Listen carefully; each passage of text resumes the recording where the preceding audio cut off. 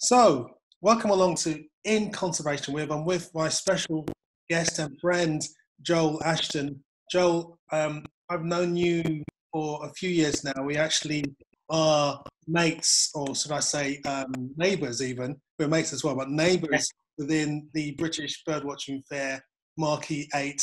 We always um, end up sort of being next to each other, and I am always envious of your amazing stand. Well, it's it's not without a lot of hard work, I must say. there's not a there's not a bird fair we've been to that's been where we've had a finish lesson about or before ten o'clock on the Thursday Thursday night.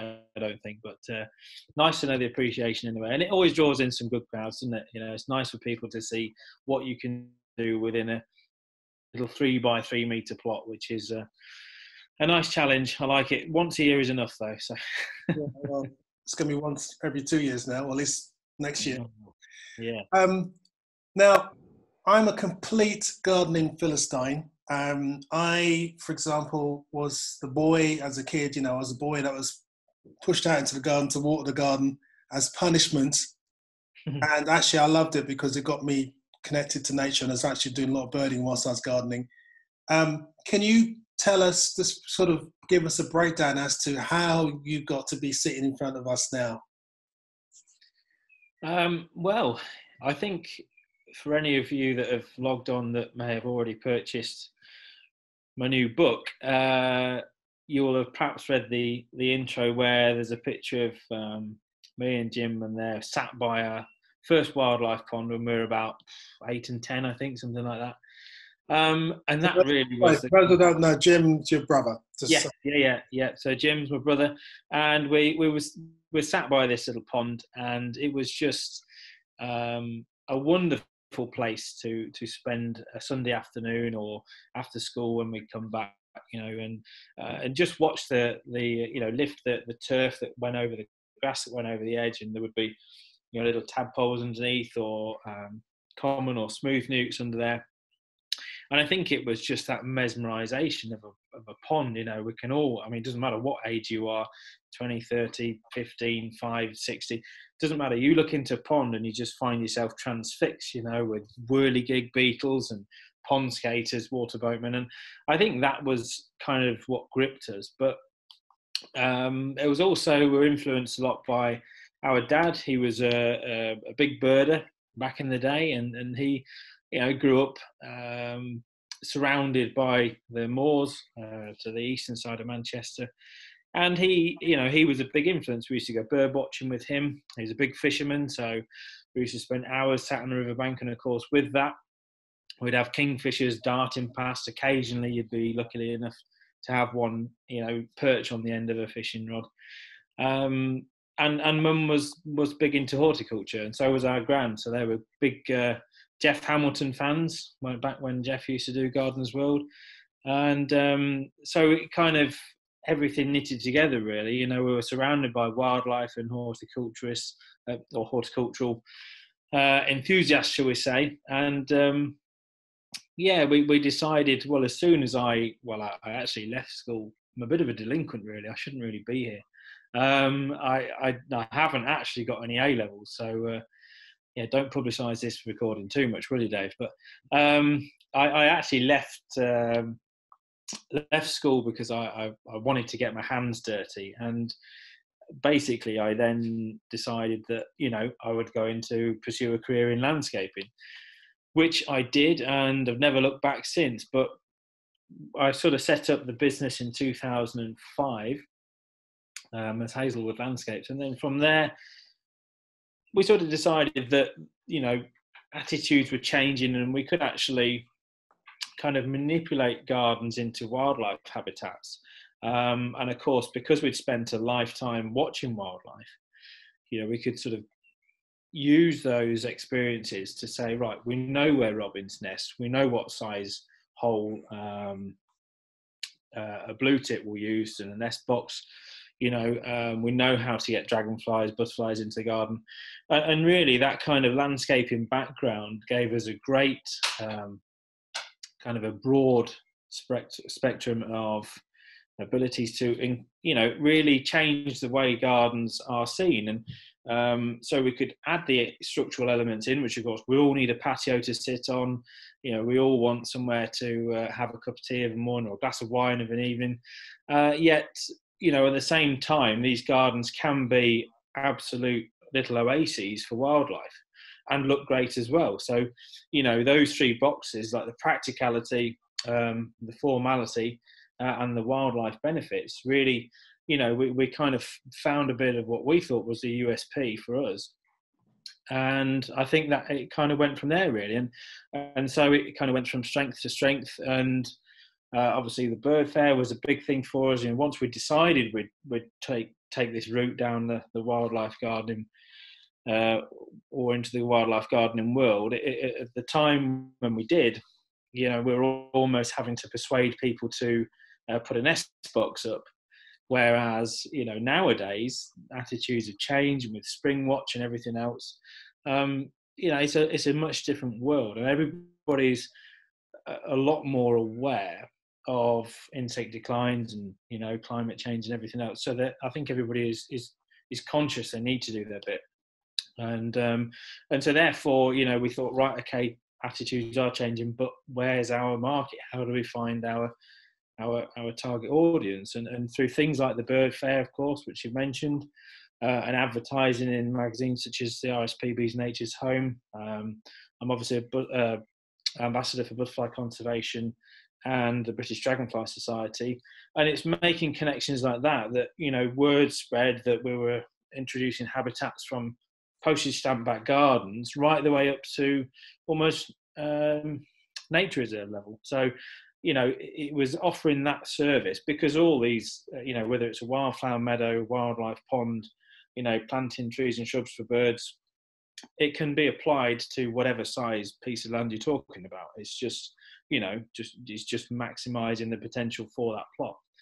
Um, and so with all that, and with like I say, the ambassadorships, and uh, then last year we did a piece on Gardeners World, which was phenomenal. I mean, the response was brilliant, and they actually said that the it was one of the best food shows they'd had, not purely because of the piece on us, but it was a wildflower special. And I think that just goes to show again that the, the need for uh, and the the drive to, to sort of encourage more more sort of native wildflowers into people's back gardens. And here we are today. You know, it's uh, it's been of a, a bit of a journey, and of course, it's all kind of peaked with the, the release of the book, which has been fantastic. And I can't thank and Kindersley enough for that. They've done a wonderful job. And uh, you have you got the book there? Uh, funny you ask. there you go. So yeah, a little bit of promo, but no, it's it's. I mean, hopefully, I mean, there's 15 years or more. Well, 30 if you include the uh, the wildlife uh, experiences. But um, there's a there's a hopefully a wealth of knowledge in there that will, um, and and I think the the the key thing about it was that and Kindersley. Came, I mean, we feel very privileged that they came to us to say, look, you know, we think times are changing. We want a book on wildlife gardening, how you're fixed, and and that really has been uh, a quite humbling moment because it, it, shows a need that you know that hopefully we can um, you know give this information to a whole host of people you know who've got anything from like i said postage stamp to a big piece of land and they can apply some of the techniques in the book and some of the ideas and the theory behind it to their own gardens. As much as i'd love to get to all however many tens of millions of gardens there are in the uk i've only got one pair of hands so by offering the book it's of course a great way of sharing that knowledge um, and hopefully it'll be one that, that does really well not just for the, the few pence a book that, that I get, but for but for the, the you know wildlife in general, and that's the whole point. You know, that's the that's the mission is to is to create habitats nationwide uh, to, to provide more of a mosaic and a network of gardens that all these animals can move between effectively. Yeah, and I think there's a, a big job to be done because I mean I remember being on the um, Metropolitan line in London, um, going from station to station, and you drive or drive, you, you know, the train goes through areas and look at people's back gardens. And I was horrified from back gardens. Mm. AstroTurf, you know, AstroTurf, yeah. wooden fencing, completely sterile. And there was one time I was in someone's garden and um, I, you know, they were saying, no, there's no wildlife in my garden. I said, well, you know, people who have astroturf, who put wooden fencing in, who basically plant flora that's not native to this country, that doesn't attract insects. I mean, what more do you expect? And then I turn around and notice that I was just describing their garden, yeah. and I was never invited back since. um, that's a big job. But what's in terms of your actual work? What what elements of it do you actually love? What's your favorite part of of your of what you do? What what you know what what is it that you actually love doing? If someone says to you, you know, can you whatever you love, can you just do it in my garden?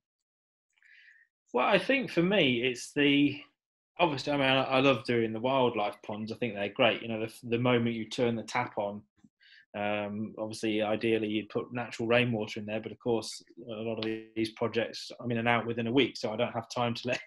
this time of year, I'd be a bit scuppered, you know. But um, but actually, putting a tap on in a pond for the first time is great, and I've I've had literally um, water boatmen and pond skaters sort of bounce off me and land in the water. Yeah, as these water bodies are filling up, how they find them, God alone knows, but they do.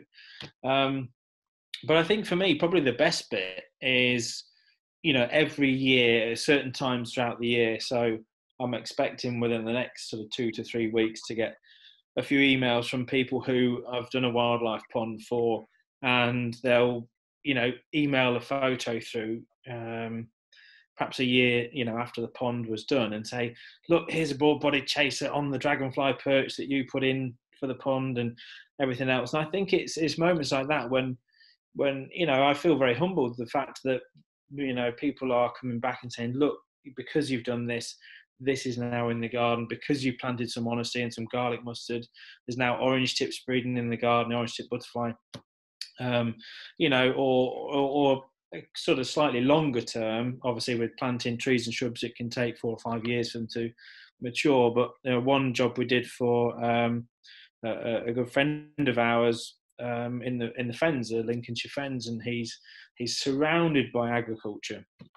And we put some whips in as a hedge, uh, just you know little sort of two foot uh, plants. And within four years, um, there was breeding yellowhammer and whitethroat in the garden, which is you know just phenomenal. Um, and it's things like that. I think it's the success stories that come of these these wild um, places that um, you know, and it's it's people it's people's own experiences that I, you know, um, really enjoy. I enjoy hearing about them when people say, "Look, because you know you've had a bit of an influence by the time you know." Um, sometimes I'm in someone's garden for several weeks, so I can't help but, you know, as you do with the hashtag Look Up, I'm always in the garden. I mean, did, I did a job in um, Birmingham recently for um, a lady that works at Bat Conservation, and she uh, she was she already had a bit of a bird list and I, I went into the back garden absolutely hell bent on you know doubling the amount of species just through you know recognition of call and that for things flying over. And it was great and i love doing things like that. I had you know um, redpoll siskin raven you know all the sort of things that unless you're tuned into it unless you've been listening to birds for a long time a raven's pretty obvious but you know siskin and redpoll you know they take a bit of uh, deciphering at first. Um, and it's things like that you know I, I it's nice to know that I've had a positive influence on someone, and that they are then, you know, thinking of those things perhaps after I've left, um, if that makes sense. So it's nice to get those, you know, kind of experiences and, and, and feedback, you know, as to how the garden's doing. I think is the best bit. Yeah, and one thing I want to ask you as well is, I mean, for example, for me, when I'm leading tours or taking people around, I think my least favourite element of what I do is walking through jungles. I I can't get in my head around them at all. Just, that's my heading. Can't say I've ever had that privilege today. Who knows? what is the, the thing that someone's asked? If someone, I mean, maybe I don't know. I should, maybe I shouldn't ask you this, but if if someone asks you this, you kind of think, what's the what's the least favorite thing? Is it laying paths or something, or? Um, probably if someone was to ask me to clear out a pond in January. To be fair. Um, I, I, think it probably is the weather. I mean, the rain in September and October. I was working in Wales last year, and it was just every day for about eight weeks, and I was up to my ankles in what can only be described as slop. You know, um, it was a lot of the kind of harder harder landscaping elements. You know, sort of walling and paving before the turf and the, you know the wildlife pond and everything went in. But that doing that background work or the groundwork, if you like, in those conditions, it's just it can sometimes feel relentless, you know, a little bit demoralising, and you just got to think of spring and brimstones and orange tips, and you know. Um, so for me, it becomes a bit more of a challenge. What I'm trying to do is structure the business so that you know, in the winter months, I'm not actually as installing as much if I can, because it does. I mean, in a serious note, you know, it, it does prove quite tricky. You know, um, tree planting as well. Of course, you don't want to plant trees if it's too wet. Um, you know, depending on the species and all that. So yeah, I'd probably say weather is my the biggest problem in winter. I don't mind the job, you know. I don't mind getting up, you know, to two, three feet in silt in the middle of a pond with waders on if I have to. You know, it's it's all part of the job. But when it's freezing cold, driving rain, January, and you know you're trying to set concrete or you know plant plants, and it's just yeah. I wish I had an office job at that point, so I might turn to a bit more writing in the winter months if I can help it. Okay, so listen, uh, Zoomers, fellow Zoomers in this uh, in conservation with um, session with Joel Ashton. If you wish to ask questions, please um, feel free. For those who aren't familiar with the way Zoom works, it took me a bit of time. Um, if you go to the participants bit, um, apparently you can sort of show your hand and wave, and hopefully we'll be able to see it because I can't see you, especially if you haven't got your camera on. So if you can wave, um, if you've got any kind of burning questions regarding your own garden or any kind of uh, advice you'd like to have, then you know Joel's here for that. So please don't be shy. Um, Joel, in terms of now lockdown time for a lot of people around the world, um, what have been what's been the sort of common questions you've been getting regarding gardening? Um, so availability of a lot of things has been a, problem for people because, of course, garden centres in the first instance were completely shut. So everybody sat at home. Fabulous weather. I mean, April has just been phenomenal, hasn't it? You know, we've had about one, two days of rain, and yet people are looking at the garden going, "I can't get any plants. What am I going to do?" um, so it's been tricky. So, but a lot of the um, seed merchants and places like that were still um, are still selling seed, shipping out seed. Um, and one thing that I love to do, which you can still just about get in now if you if you get round to it, is is sowing a little patch of cornfield annuals. Uh, so things such as your poppies, your cornflowers, corn marigold, corn chamomile, um, corn cockle. Bit of a recurring theme here, but um, you know, so get you know get some uh, even if it's just a tray, and and this applies to people with even a balcony. Um, and I, uh, you know, I would strongly recommend sowing some cornfield annuals. It's dead easy. Um, get yourself some not too high nutritional value compost if you can, or if you've got a patch in the garden that you can just turn over if it's a bit weedy or you don't know what to do with, you haven't got the time or the money to go out and buy a load of um, herbaceous perennials. Then I would just turn it over, rake it level, pick the worst of the roots and stones and bits and pieces out, and literally chuck some cornfield annuals on it. Uh, and within a couple of months, they will absolutely be a, a blaze of colour. You know, you'll have your you know, typical reds, blues, yellows, uh, and it'll be fantastic. It's quite a, a, short flowering period, so it's not much, you know, um, towards the end of summer. You know, these are annuals, obviously, like poppies and that, you know, they're, they're pretty quick coming and going, but it's a great splash of colour. It's a great way of filling a bit of ground that you don't know what to do with. Uh, as long as it's got a bit of sun for half the day, then um, it should be absolutely fine. And it's a great one for the kids as well. I mean, if you've got kids that are driving you up the wall and, you know, they need something to do, then then get them out and get them digging a border over or, you know, I mean, there's photographs of, of me when I was a kid digging digging holes and pestering mum and dad with a spade when I was about four, you know, and um, I think, you know, all kids love snails, worms, grubs. They love to get dirty. So I, I would just get them out there if you can.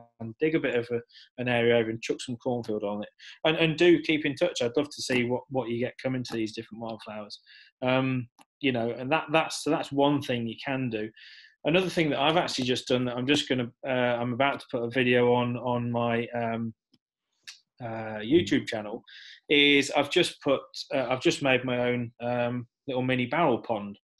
which is great because a lot of these places, uh, the garden centres or online places, are still shipping out barrel ponds now. And um, well, I say barrel ponds; they're not advertising them as barrel ponds, but uh, you know, most people usually advertise them as planters. You know, sort of the, the half whiskey barrel sort of thing. So they're about two foot across by about 18 inches deep.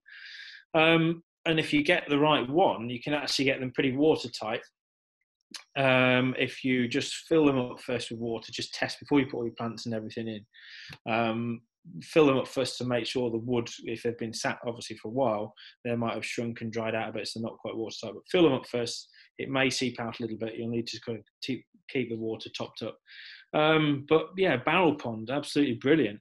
Uh, and um, you know things you'll still get your dragonflies and damselflies coming to lay eggs in it if you've got a bit of oxygenating plant in it. Things like hornwort, um, as long as you've got some emergent vegetation for these insects, um, which is which is very important because of course the nymphs once they're emerging and they're wanting to sort of you know um, turn into their their adult form if you like they need some vegetation to climb up and uh, spread their wings and dry out in the sun before they sort of make their their maiden voyage if you like or their maiden flight. Um, you know, and then some floating leaf plants as well, things like lilies. But I always put in uh, either sort of fringe water lily uh, or broadleaf pondweed or something like that, just to, as a bit of a water surface covering plant.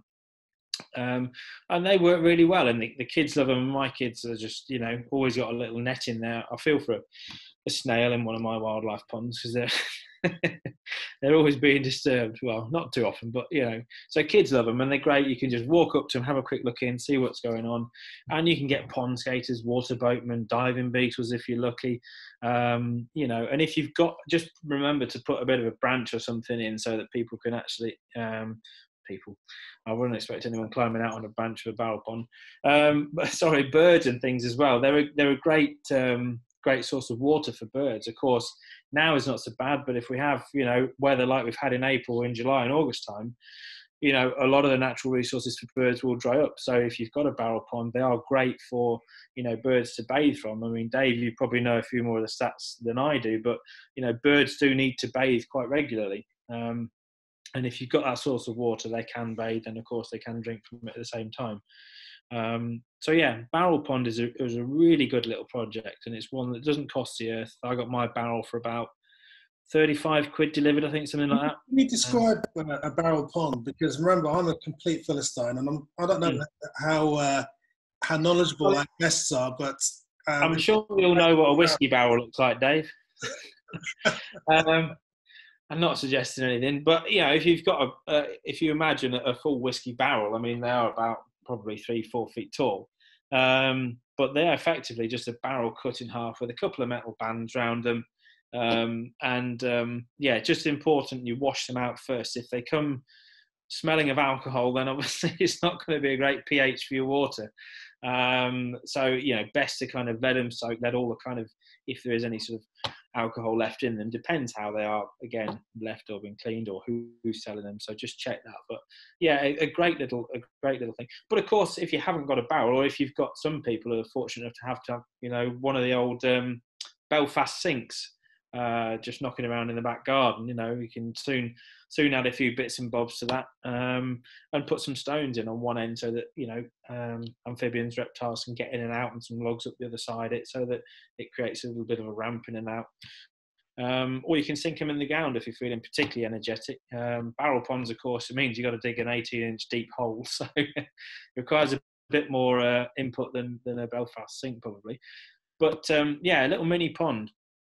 And I've actually in the past made a lot of uh, mini what, what I would call frog hostels, which are little, um, imagine like a Belfast sink or sometimes you can get these kind of Yorkstone sort of troughs and things, which are only they're only shallow. I mean, they're only maybe four or five inches deep, um, but just sink them into the ground, um, put some old bark and things inside it, and put some logs over the top. Uh, and and I've lifted those up in gardens before, and it's been absolute just frog mayhem. You know, there's like little baby frogs, like you know, sort of just emerge, and they've gone straight under and into these little frog hostels. And you can put them in your border, your herbaceous borders, down the bottom of the garden, under a tree, and you'll be amazed what stuff you use them. So, um, yeah, great one there.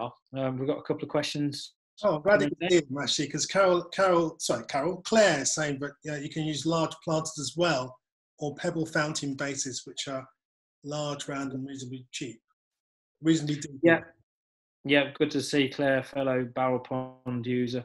Um, yeah, so a pebble fountain. Yeah, again, good. I mean, I suppose that's going down a bit more of the route of the um, yeah bird bathing uh, sort of element. But uh, again, I mean, you, will probably agree with me, Dave. You know, providing water for birds is is key throughout the year, isn't it? Yeah, totally. Now, just actually, funny, Ronique has just asked a question because I was just about to say before these questions came up.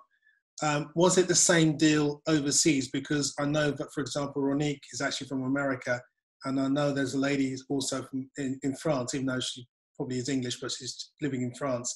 Is it the same rules in terms of what you're saying in those countries, or is is it different? Do you know? For what? So is it some mosquitoes? You're saying, yeah. So does a balcony have to move, have have to have moving water to prevent mosquitoes from hanging out, or are you encouraging that as food for birds?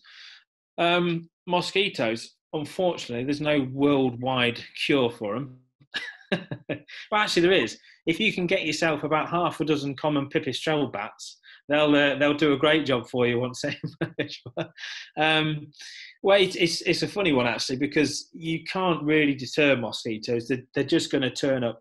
What I have found though is that they are the actual adult mosquitoes are more likely to be hanging around areas where it's sort of semi shade or even full shade.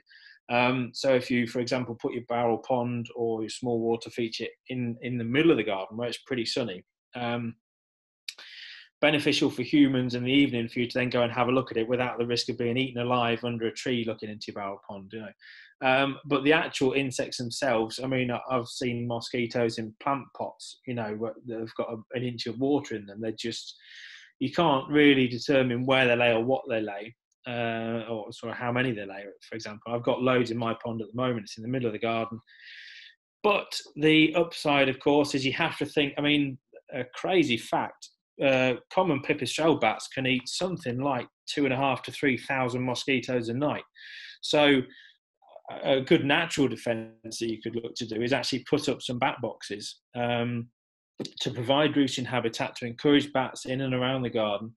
Um, and I, I, usually put up the uh, what's classed as the Kent style bat, bat box, um, as long as it's got a, a 15 mil cavity. So I mean, you can make them yourself, um, just a bit, a bit of sort of wooden six inch gravel board, um, you know, with another one fixed to the face of it, but just with a 15 mil spacer in between, as long as it's got a, a cap on the top like a bird box. Um, and the pipistrelles will sort of go up and into that cavity. Um, and I've actually encouraged, you know, whole colonies of pipistrelles. Sometimes now you can see um, many different, well, actually three to four, even in some boxes um, of the pipistrelle. So they're a great one. And the bat boxes themselves, if you can get them on a, a south or west facing, uh, because contrary to birds, obviously bird boxes you're supposed to put on a, an east or a north facing boundary so they don't get too hot and the chicks don't um, die from the heat, um, unfortunately, but does happen. Uh, whereas bats love to be warm during the day. So south or west facing part of the, the house um, or a tree normally you would want to aim to get them sort of three to four meters off the ground. So, for any of you that don't like ladders, myself included, um, it can be a bit tricky. Um, but you can, of course, you know, get them just as high up as you can. And just remember, they need to have clear access. You know, there's no point putting a box there and having a load of vegetation all around it because they need that access in and out, a bit like a bird box. Um, so yeah, I think well, we've got a few more comments about that. Um, um, yeah, because um, Renika's saying also idea about the bat box, and Amanda, I want to dig a pond that live right on the canal. Ducks use my garden. Are there any plants that would filter out the mess they deposit? Um, short answer, no. Um, it's very tricky once you get ducks into a garden. Uh, I had I did a pond for somebody last year, uh, and they backed onto a, quite a big pond, almost like a lake. Um, and uh, yeah, once the ducks got in the garden, of course they're, they're um, well, you insert whatever expletive word you like to put, uh, but can be a, a, a, bit of a pain with, with fresh planting as well. Because I've just planted all the plugs around this pond, the plug plants, and there they were something to do. They were just pulling them out after day after I'd gone, and uh, and before you know it, because of the excrement, you know they can turn a pond into almost green soup, which is not the nicest. So. Um, but of course, then you think, well, do I net the pond? Well, of course, if you net the pond, then you're going to have um, you know you're going to restrict access for the other birds to come and bathe and drink as well. So a bit of a catch twenty two. Um, yeah, difficult one with with ducks. Obviously, don't encourage them into. I'm not suggesting you do, but don't encourage them into your garden um, by feeding them or anything. That's what the, the mistake the previous uh, people I did a pond for did, but they soon stopped that. um, so it is it is a bit tricky with ducks. The the good thing uh, or the best thing to do, I think, is to if you can make it not i don't know how open the situation is with the pond but if you can the ducks like to have a fairly open um, sort of access in and out obviously for flying in and flying out and they won't enjoy it as much if there's some vegetation around it because of course they they feel a bit more at risk from predation from a cat or something so uh, maybe a bit more vegetation if you can around the pond but of course equally you don't want to shade the pond out so um, yeah a bit of a tricky one with the ducks they are a bit of a, a bane or can be um, people like them, of course, you know, and it's great when the you know the ducklings are out this time of year. But um, yeah, ducks can be a bit of a problem. So, but in in uh, long way round, effectively, no, there's nothing you can put in the pond. Once they're there, they can make a bit of a mess. And like I say, the, the water will go very soup coloured. If you manage to deter them and they don't come back, then just get as much oxygenating plant in there as you can. Things like hornwort, spiked water milfoil, and um, I think really they will be the best things because they're going to oxygenate the water as fast as possible to get it back to the right sort of pHs and, and get it into a, a, clear water body again. So hopefully that helps. I mean, do say if you you know if there's any other questions you've got on that, but hopefully. Um, Sorry, I was also thinking about just going back to the question about mosquitoes. What about installing fish or even um, what about tadpoles when they eat mosquitoes? Yeah, so there's a lot of things that do obviously eat mosquito larvae. They're great food. Even things like dragonfly, damselfly nymphs, um, you know, mosquitoes, diving beetles. So again, the more you can encourage into a pond um, in terms of habitat or around the garden. So get yourself plenty of sort of log stacks around the garden, um, even bits of bark. Frogs absolutely love being under. Just you know, if you can get a big piece of bark, it's great for them to get under because of course cats can't get to them. Um, and and leave some long grass around the edge of the pond. I mean, a lot of people, of course, you know, when you think of a meadow and it's cut once a year, um, or a herbaceous border, we tend to trim them back. But if you can, get uh, or leave some areas around the pond longer because, of course, that will just encourage uh, the froglets once they emerge in the next few weeks, just to, that little habitat for them to sort of hunt through to get mini invertebrates and, and, and slugs and things. Um, so some vegetation around the edges is good because, of course, that's the frogs are going to feel more. If you've just got a, a hole in the middle of the garden, uh, a frog's not going to hang around there because it's open to predation from everything, but you know, herons, birds, all sorts. Um, so yeah, so provide cover for frogs is probably a good one for combating the, the mosquito larvae again. I would say. Um, well, go to Becky's question. in fact, actually, it's to do with ducks, isn't it? Even though, even without the issue of ducks, how does one keep a pond clean? Okay, um, let me just, because Claire has actually indicated she wanted to ask a question. So let's get Claire on first. So Claire. Hi, Joel. Uh, Hi, Claire. Oh, get my video going as well. uh, yeah, as you know, I love my barrel pond and it has been absolutely brilliant. I've got a tiny garden, and years and years ago, I sunk one of those half um, whiskey barrels in one of the raised beds. It did take a few years, but I got frogs in it actually, I got frogs quite quickly. It took years to get frog spawn, but I now consistently have frog spawn. Yeah. What I wanted to know is is there an, a good way to encourage dragonflies? I do occasionally get dragonflies in the garden, very rarely, but I don't think I've got any um, larvae in the actual pond itself. Okay, yeah. So um, dragonflies. So if you want, um, one thing you can do is if you've got some uh, any rotten logs or anything that's kind of half decaying, if you actually put a rotten log half in the pond and half out the pond, um, that's the favourite laying spots for the southern hawker dragonflies. Which, of course, if you're familiar, you know, big dragonfly this is, and they're up there with the emperors. Females bright green, uh, males sort of blue and green, um, but they are the, the females will come and they will they've got this awesome little hook actually that they kind of prise into the, the, the rotting timber, and that's where they lay their larvae in the edge of the kind of the log. But it, it usually has to be right sort of on the edge of a pond because of course larvae will crawl out, you know, and then go into the pond uh, and hunt for the food. So um, that's one thing you can do for southern hawkers. For um, some of your damselfly species, you know, blue-tailed damselfly, large red damselfly, which obviously on the wing now are starting to emerge. Um, the nymphs of course a lot smaller, so the food's going to be a lot smaller. But things like you know the mosquito larvae, um, I'm not, I wouldn't know how to say to attract mosquito larvae, uh, even if you wanted me to, uh, but they just appear, you know. So as long as there's plenty of vegetation in the pond, so things like your um, your hornwort and your spiked water milfoil, your oxygenators are going to be great uh, plants for that. Equally, things like your broadleaf pondweed um, for you know sort of little ram's horn snails and things. Um, they're good as well because the, the snails will actually eat, the leaves of that. So that will get you snails in there. Um, but but not the nymphs will, will eat the snails as such. But it's the smaller invertebrates um, which are going to be you know part of that food chain which will just appear. Uh, and of course, as long as you've got some open water, that's where you will hopefully get some water boatmen coming in. Um, and of course, the baby water boatman, yeah, there is such a thing. Is like you know, about this big. You know, it is like a black pinprick. But of course, it's all food for these nymphs. Um, so the more food you can encourage, and you know, the only way you can really do that is by having the vegetation to bring in, um, you know, the other insects. But so, like I say, probably you know, making sure you've got plenty of of um, your, your oxygenating plants uh, some emergent vegetation like a hard rush or flowering rush or something coming out of one side for them to obviously climb up um, and then obviously hatch into the adult form.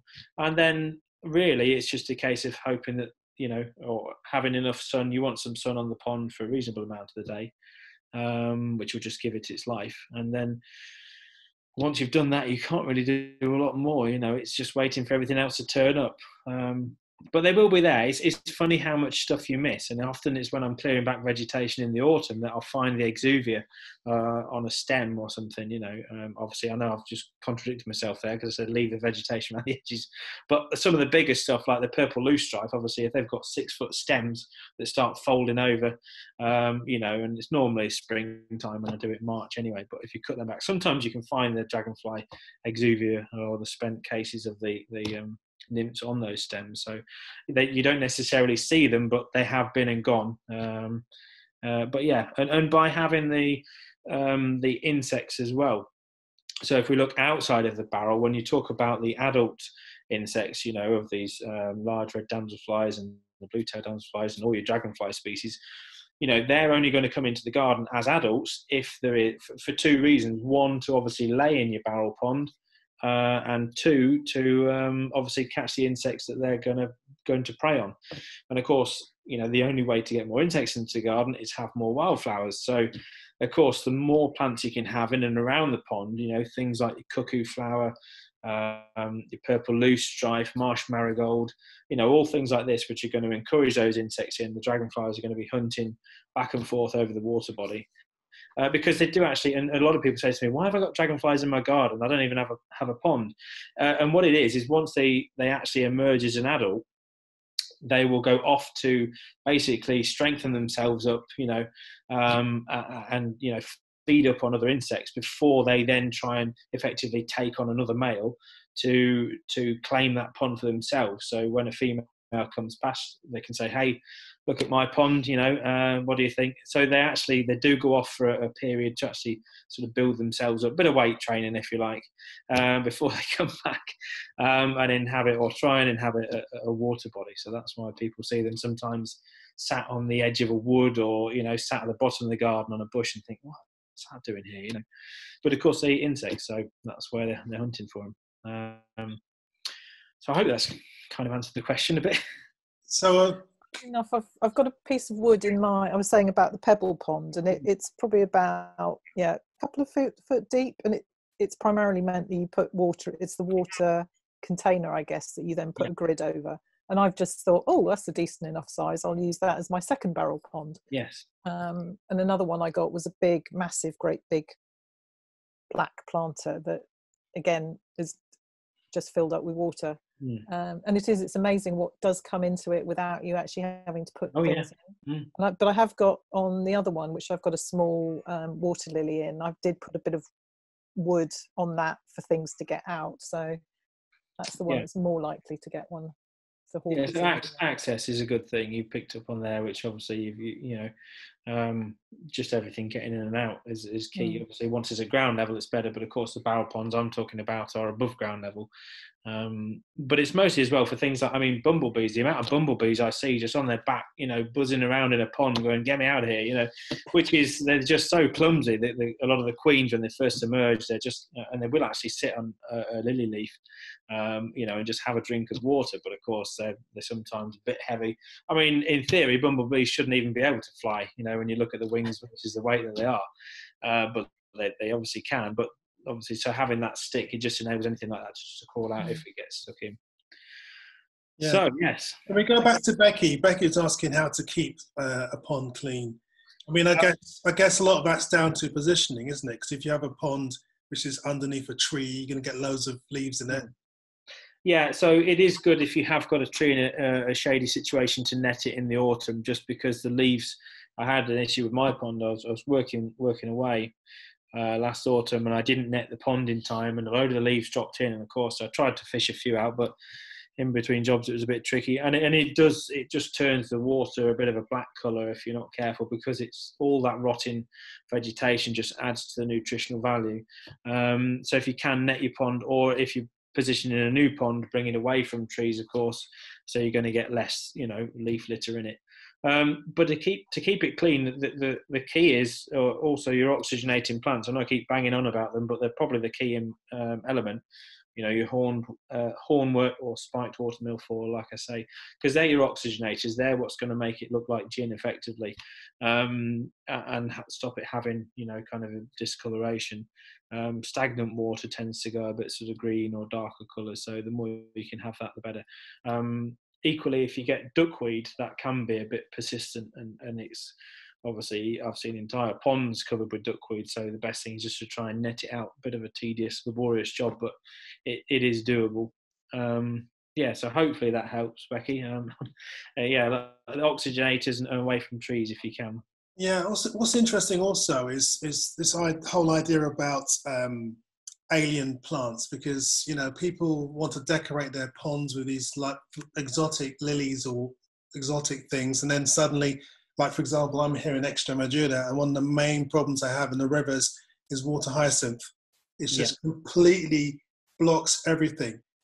Yeah. What do you say to people who want to s- sort of try and add these non-natives to their Um, well, I th- it's it's it's so easily done, unfortunately, because a lot of the garden centres are um, they're not thoroughly educated enough in my eyes, and they shouldn't be selling people. Well, of course, it's a, a lot of it will come down to staffing because, of course, you could have somebody that works for a garden centre that says, "Oh, yes, you want a lily? Here's a lily," you know, and and so on. But I mean, even the labels are a bit misleading sometimes, and unless you know these species, um, it can be problematic. I mean, things like the Canadian pondweed, you know, can you know people sell it a lot as water uh, uh, as um, oxygenating plant, but it just takes over the pond, and then people say, "Oh, we've got no room. It's just vegetation," you know.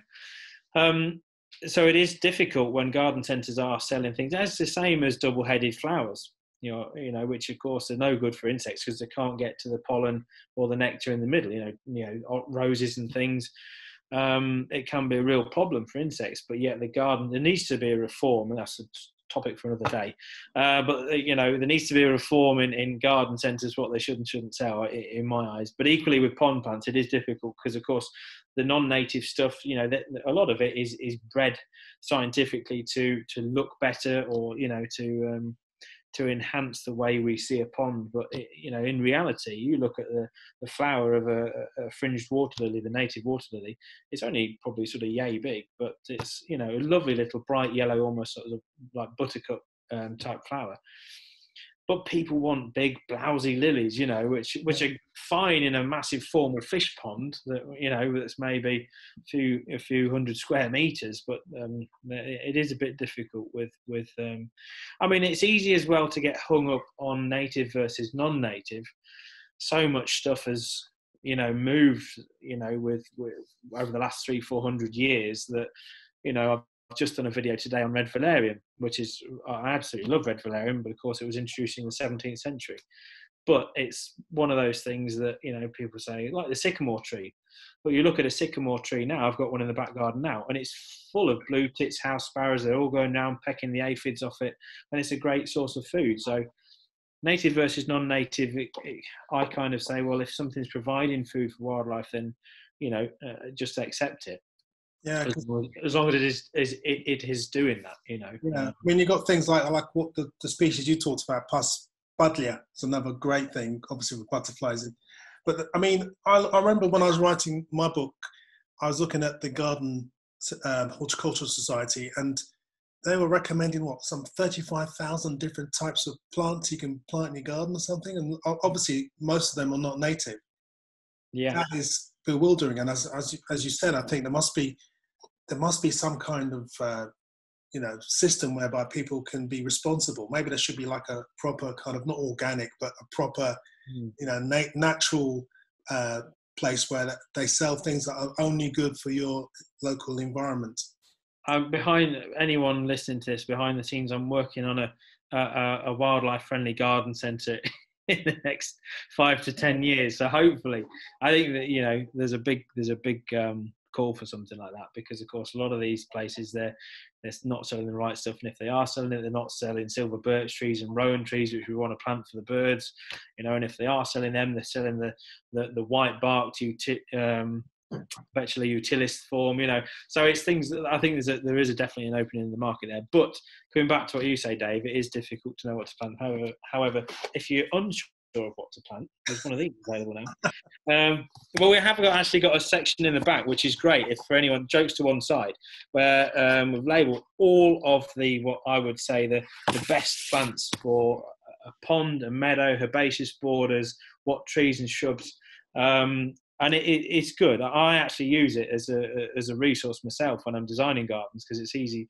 The amount of plants that are out there, I think actually, what am I, you know, and it's it's good to sort of jog your memory because you forget half of them, you know. Yeah. Um, you better go back to Amanda because she yeah. said if I grow plants for butterflies to lay eggs on and feed caterpillars, can I do this in pots rather than have them in my borders? Will there be enough food for them? Absolutely. Um, I often grow um, things in plats, uh, pots. I've got some purple toad flax uh, actually, which is you, you might find it growing in the gravel. Uh, a lovely little, almost like snapdragon flower, purple flower, really thin, spindly thing. You, you wouldn't think much. You wouldn't look twice at it uh, a lot of the time. But it's because uh, I'm down in the in the southeast. Um, and and down here we've started getting more and more of the, a moth called the toad flax brocade. Bit of a mouthful, but it comes in and it lays its eggs on these purple toad flax. And I have that in pots specifically for that, and they're fantastic. They're a bit like mullein moths, if you know the mullein moth. Um, you're sort of black and yellow, uh, and a bit of sort of bluey green on them as well. Um, but yeah, absolutely. I mean, you know, lavender is obviously a classic, which because then you know while these plants are in pots, you can move them around the garden.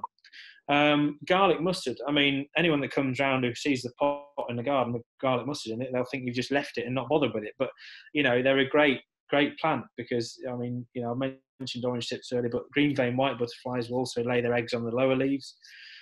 Um, and you know, all sorts of plants will go well in pots as long as they've got enough sun and as long as they've got enough water. Um, you'll be absolutely fine. Yeah, no problem at all. Um, I don't think there's any more questions at the moment, Dave. Is Go on then my question is for those who haven't got gardens, or if you do possess a garden, it's a concrete one. Um, I know it's a big subject, maybe for another day. In fact, probably for another day. But this could be a nice little warm up. Warm up. What would you suggest? I mean, again, it's difficult to tell until you see a garden, I suppose. But I've lived in Notting Hill in London and the garden I had there, or my mate's garden, was basically a concrete patio with brick walls around us and hardly a lick of green. Yet I still recorded about 50 species of bird over 10 years. yeah. Um, probably just moved, to be fair. Um, no, I mean, th- th- there are obviously challenges in all of it, and we've not all got the money because, of course, a lot of the time you may be renting. So, you know, your landlord might not want you to rip up all the paving because it suits them, it's rentable, and they can say, oh, yes, you know, here you go, here's, you know, you, you can come and have a little patio area and all the rest of it. But, um, but then in that case, I would say containers. And, and jokes to one side, we've just talked about a barrel pond. It's amazing what will come and find a barrel pond you know, all, all, kinds of insects, pond skaters, water boatmen. You don't think of them as flying insects when you see them sat on top or underneath the water. Uh, but of course, that's how they find these water bodies. So a barrel pond, absolutely. Uh, raised beds, just as good. You know, you get things in like Nepeta, the catmint, uh, salvias, echinaceas, uh, purple, um, not purple loosestrife, uh, Verbena bonariensis, my all-time favourite herbaceous perennial. You get stuff like that in, and it'll just be buzzing with. I mean, you probably remember Dave two years ago at the bird fair when we did that pop-up um, uh, nectar border outside the arts marquee, and it was just there's people stood there all day photographing the butterflies and the bees, and this is in the middle of a field. You know, uh, and these insects have found they've got an amazing sense of smell, butterflies and bees, uh, and they've just found it. And and you know, so raised beds, another good one. They'll dry out a bit quicker, obviously, than a than a bed at ground level. Uh, but you know, bit of water, raised beds, absolutely the way forward, and grow things up the wall as well. You know, put some trellis systems up, provide cover for birds. You'll know as well as I do, the biggest problem for house sparrows is cover. You know, uh, in urban areas, they'll you get a loan. I've got one out the back here, a big buddleia, and I've got a colony of 20 to 30 house sparrows that live in it in, in one bush. You know, as long as you provide a bit of cover, the, the birds will turn up. So vertical space is just as key, and I'm going to do a video about this on YouTube shortly. Just as just as good than your, as your horizontal space, definitely. Um, All right. Question from Jennifer here. Can you recommend any intro to gardening courses? Ideally, a distance oblique part-time course. I work full-time in conservation, but would like to increase my knowledge of gardening generally when talking to people about wildlife gardening, and of course, improve her own. Uh, I'm going to sound like a I'm on repeat here, but I'm actually working on a gardening course, um, which is something that I'm hoping to set up within the next two to three months, so that people can do an online course um, to. Well, it's where it's how long's a piece of string, really, as you can sort of gauge from today. I mean, I could talk for ten hours straight about you know gardening for wildlife, and I would barely touch the surface. Um, but but I would I do want to. I think there is a need definitely because uh, we do run a few courses, obviously yearly, but uh, get a bit of limited time. But the the main thing is, of course, you've got people in Scotland, Wales, Ireland. You know, they can't afford to come over or you know put themselves up for a day's course, and and really, you know, you need a, a bit of um, a course structure as well. You know, if you're going to actually talk about gardening for wildlife, there's so many elements, and I'm, I'm conscious that we've not actually spoke about design at all today. Uh, well, no, we have actually. We've talked about some layouts of things, but um, I think the main thing is that people want to know how to set their garden out. Um, and one thing that I would say in terms of the, this, which is kind of linked to Jennifer's question, is when you actually go to plan a garden, um, you know, there's four elements that you really want to put into a garden, and that's trees and shrubs for birds, a mini wildflower meadow, and I did say meadow, but that can be as small as two or three square meters, uh, a wildlife pond, and herbaceous borders for obviously butterflies, bees, and everything else, a nectar border, if you like. And if you've got those four elements, um, that and, and in the book it does explain this quite nicely. But if you've got those four elements, you then you know, so let's say, for example, you've got a north facing garden, but it's a fairly long terrace garden, perhaps, you will get sun down the bottom end of it because obviously the house will cast shade, you know, for the first three, four, five meters. But after that, you'll get a fair bit of sun. So you would want to position your trees and shrubs and everything along the bottom of the garden um, so that that was casting shade nicely over to the neighbour's side. Um, but you know, so that's how you would set it out. And then something like the pond. I mean, I always try and put ponds almost as a focal point in the garden, like right in bang in the middle. You know, to get the most sunlight. um, and they are the epicenter of a wildlife garden, if you like. They are the best thing you can put in a garden. Um, and then fill in with your, you know, your wildflower meadow around it, and then your herbaceous borders. Just check to see where the sun is. So if you've north facing garden, as you look down the garden, your left hand side is going to get the morning sun. So you could do a herbaceous border there. Your right hand side is going to get the afternoon sun. And of course, butterflies, bees, and other insects are going to want to feed all day long while the sun is shining, most of them. So you need to provide nectar, and they prefer to do it where it's hot. You know, they are insects that they are creatures that, that admire the sun, so they want to be warm while they're feeding. Who doesn't? Um, so, you know, by putting herbaceous borders in two parts of the garden, you're sort of ticking both boxes in terms of the, the morning and the afternoon sun. And, and that's, of course, going to be crucial for the butterflies, which are more sun loving. I mean, I've seen bees out there in five, six, seven degrees in overcast conditions in you know February time, and they're just bees are very hardy. But butterflies need to be able to warm up. They need to, to sort of warm their flight muscles more. So by putting herbaceous borders in those positions, you are you are ticking more boxes and, and providing for all. Otherwise, the butterflies uh, they'll just nip over into the neighbour's garden and say, "Oh well, if there's not enough food here, I'll go and get some over there." You know. Um, but generally, setting out a garden, those are the four main elements. So your trees and shrubs for birds, because that's you all know, Dave, you know, you, you, want to provide cover. Birds need cover. You know, wherever you are around the world, there's there's hawks, you know, sparrowhawks and that that will be looking to take birds in urban areas, peregrines and bigger cities and things. So of course they want to feel safe. Um, so providing cover for birds and making the most of the vertical spaces, like I say, with trainer wires, things like hops, honeysuckle, ivy. You know, let them flower. Ivy so underrated as a um, a climbing plant, you know, because of course you've got berries for birds in the autumn, you've got bird bo- bird nesting potential for robins. Nestle a little bird bo- robin box in some ivy, guaranteed it will get used. Um, you know, you've got the holly blue butterfly that lays its eggs on it in the autumn. Um, so, you know, climbers and everything up the spaces where you don't want to put trees and shrubs to, to cover those walls, like you say, Dave, if you're in an urban environment. Um, things like winter flowering jasmine is great if you've got a north facing shady wall, but even honeysuckle will do reasonably well uh, and create that cover, you know, and, and that's one of the key things is just making cover for things because the birds won't come in. People put a, a, feeder in the middle of a lawn and think, well, why have I not got any birds on it, you know? But of course, sparrowhawk comes over the fence, they've, they're gone, aren't they? You know, they've got no chance. Um, so where you can, if you're putting feeders in the garden as well, put them next to that cover, or you know, hang them off, um, you know, uh, the edge of a shrub or something, so they can just zip in and off. Um, the house sparrows here get through a phenomenal amount of sunflower hearts. I ought to cut down really; they're a bit spoiled, but it's but it's great, you know, and, and they love it, and they're there for a reason. Um, oh, what's Claire said now? So had a sparrowhawk take out a wood pigeon this yeah. morning. That's your question beforehand from Renee. Oh, yeah, sorry. Renee, yeah. Do you have any book recommendations for gardening for wildlife for those living in the west coast of the US? And don't worry if you don't. I wish you one of these, Renee.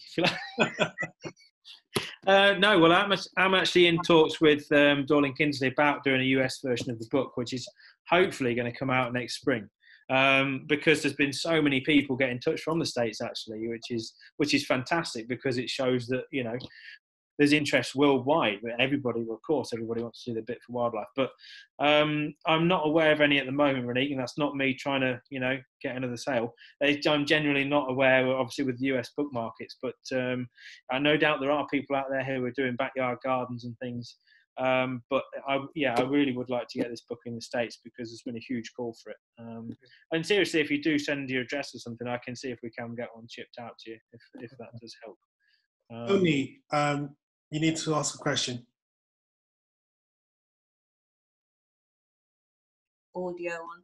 Yeah, it was a. It's a pond question, really, um, and it's been a. Uh, we've lived here in France for a couple of years now, um, and our big conundrum is that the person we bought the house from obviously had very him or his predecessor had very grand ideas and wanted a pond, but they haven't, for my um, amateur eyes haven't built it deep enough so it's fed by the river it backs onto the river so it's in the winter we get oh, it's it's just basically flooded yeah that part of the land but as the summer progresses here they're fiercely hot so already our pond is about a foot and a half down mm. so trying to put in oxygenating plants and all those things. What what? How do I meet a halfway house? Because last year I thought I nearly lost all my lilies. The water was that low. Yeah.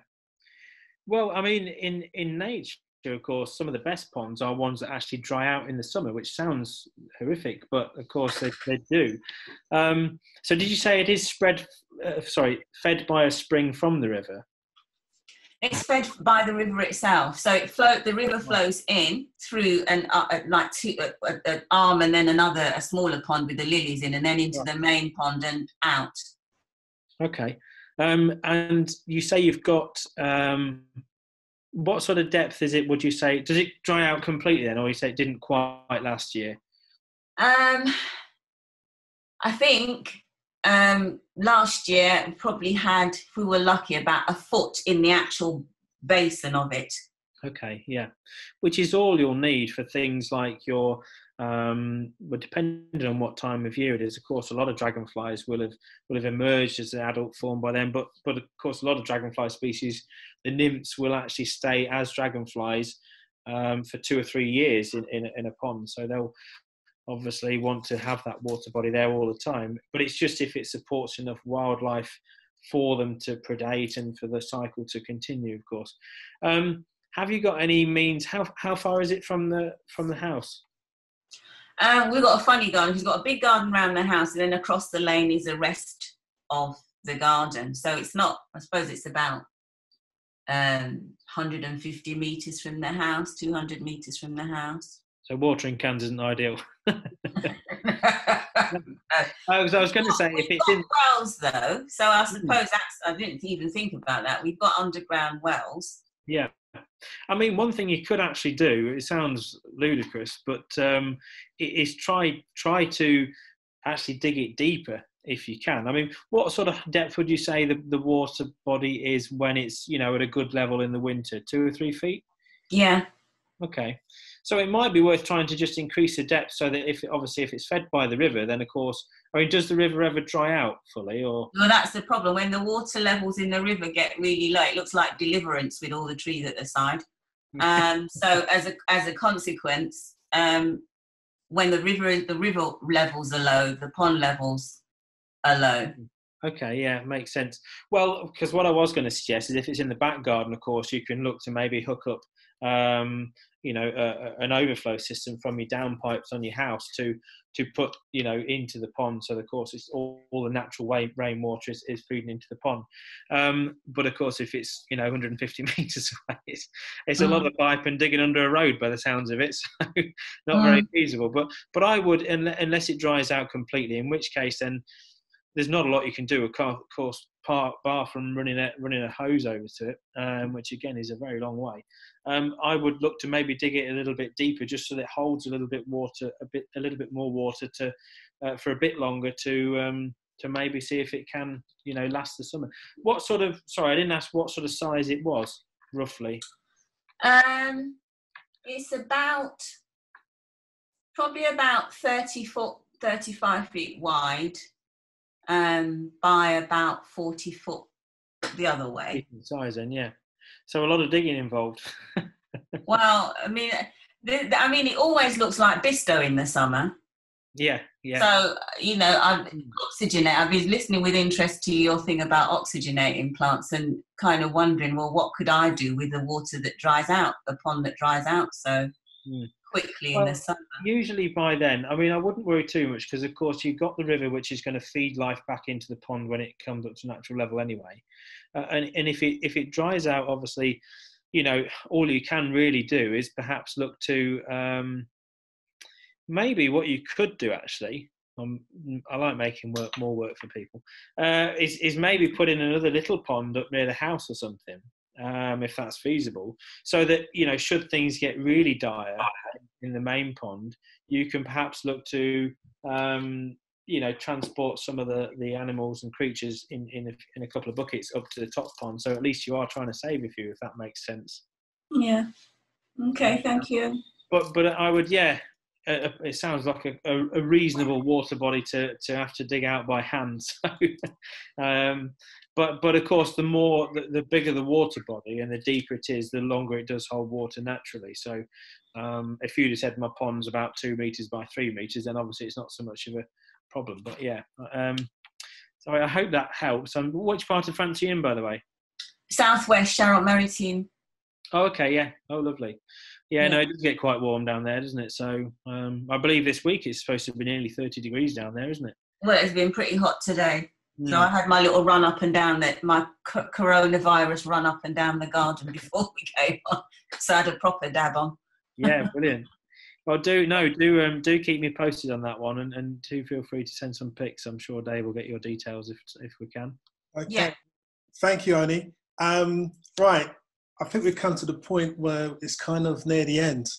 No worries. Near the end. I mean, it's been a fantastic, absolutely fantastic session, and you good back. Helpful. I yeah, because it's, it's it's funny when you start on these um, things, you kind of go off in one direction, then you get you hit a tangent, and then you go off in another. But yeah. I, I, hope from everyone that's you know joined us today, and thank you for that, that it's been informative. And um, I'm sure you probably guessed I could talk the hind legs off a donkey. So, you know, um, I suppose all I can do from here, Dave, is say that you know if anybody does want to get in touch, um, I'm on Twitter um, at underscore Joel Ashton, um, or email. We've got the website hazelwoodlandscapes.com, and and of course contact Dave. You know, um, we can change details that way. If anybody has any more questions, we're happy to answer. Okay. Well, I need to ask you a couple more questions before we say goodbye. Mm, and I didn't sure. tell you about these questions before. I should have done. So my my bad. What's your favourite bird? Ah, uh, house mine. What's your favourite fish? Fish? Hmm. Good one. Probably perch. My dad used to call them little footballers of the underworld because they're, they're fantastic striped bellies. Yeah, a bit like a Newcastle shirt. favourite invertebrate? Favourite invertebrate?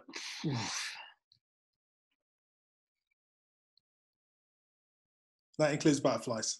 Yeah. it's got to be the orange tip. It's got to be the orange tip butterfly. What's your favourite mammal? Mammal? Uh,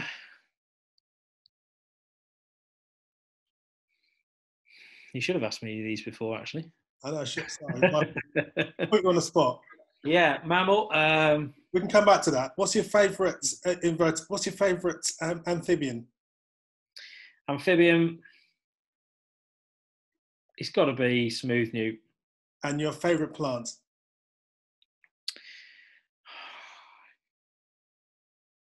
Herbaceous border or wildflower?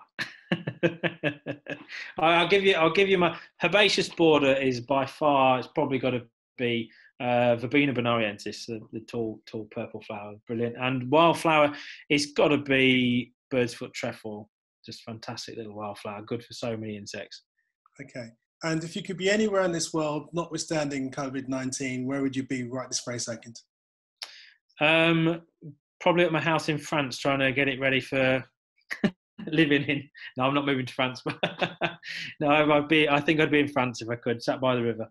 Okay, cool. So to give you a little couple minutes to think about um, to think about your favourite mammal, I'm just going to quickly run through. Quickly, also plug in my computer before it dies. Um, run through who's going to be on in conservation with over the next few days. Um, tomorrow, I have uh, Stuart Winter, who is a journalist with the Express newspaper in the UK. Um, he's very opinionated. Um, I know him quite well, and he's going to be talking about micro birding, intensely watching local patches. Um, on Wednesday, we have another person after your own heart, Joel. We've got Kate Bradbury. Kate, I did see that. Yeah, brilliant. Kate is um, is basically again she gardened for wildlife, so it's another perspective on on gardening. So that's on Wednesday looking forward to that. Don't forget to ask her, quiz her about how a pond's getting on because I built it. okay, I will. or you can even join us and ask her yourself. Yeah, no, I will do. I'm free, uh, yeah. oh, on Thursday, we have an amazing artist. Is a is a um, up and coming wildlife bird artist. Um, I can't pronounce his name. He's from Hungary. His name, and please excuse me, looks like Shabolux, Shabolks or something like that.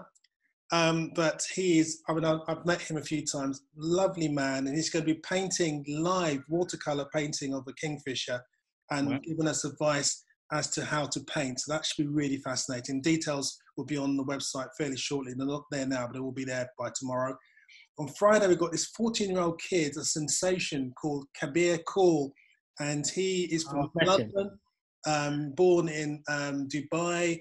He's mental about birding and wildlife. He's really trying to get people engaged in wildlife, and he's been on this sort of single boy crusade. And he's already won awards for his, his work in conservation. He's one to watch. And then on Saturday, and I literally just got the confirmation just now, we have a guy called Tony Juniper, who is the head guy at English Nature. Um, quite a controversial group, English Nature, part of the government, and they've been behind a couple of decisions that have kind of got conservationists or birders and people like that up in arms occasionally. The latest of which has been the um, the idea of allowing peregrines to be um, taken from the wild for falconing, falconry even, falconry even. So um, that's going to be an interesting discussion there. Not trying Right. to tarnish the name, but I think I saw something about um, black-headed gull and common gull eggs as well recently allowed to be taken. I think. Yeah, like that. we'll be talking about all those things. So that should be a, a very interesting discussion on Saturday. So without further ado, thank you so much, Joel, for, for this amazing um, session. It's been really informative, and I'm glad, I'm sure people in the, uh, all our Zoomers here have enjoyed it. I'm sure you have, because no one's left, so they obviously must have done. Um, and I look forward um, to seeing you again, and I look forward to seeing the Zoomers again, and other people as well. So tell your friends. Um, but until tomorrow, keep safe and don't forget to keep looking up, and we will all meet again. Thanks very much, and thank you, John. Cheers. Thank you. See you later. Bye.